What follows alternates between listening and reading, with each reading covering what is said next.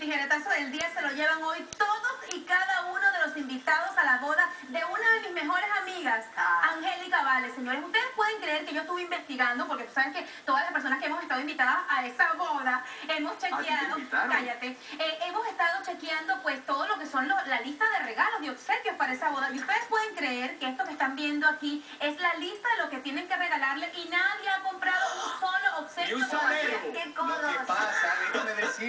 Pasa es que las invitaciones, por lo menos en, en el tono personal, a mí me llegaron apenas el principio de la semana y ¿Ah, bueno, sí? yo estoy viendo, revisando ¿Qué le la lista de ¿Qué regalos, todavía no lo hago ¿Con porque quién es muy extensa. Pues tú te llevas parte Bueno, del tiempo. con quién voy, pero no tienes por qué generalizar. No, que te no. llevas parte del tijeretazo porque esa lista Ah, dice bueno. cero gracias a personas como los ustedes por envidiosos. No, no, no, Eso es lo que pasa. no yo se lo invitaron, diga, pero la gente deja para última hora esto de comprar los regalos de boda, así que tampoco seas tan estricta, Carolina.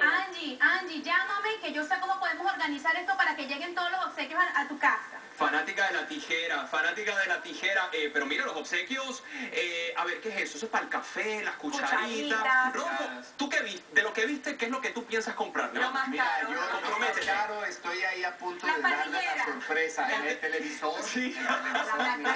Me parece bien la pantalla de plasma porque sabemos que Angélica Vale es la fan número uno de la tijera. Angélica, así, así tú no me invites, Angélica, yo te voy a mandar el televisor 57 pulgadas.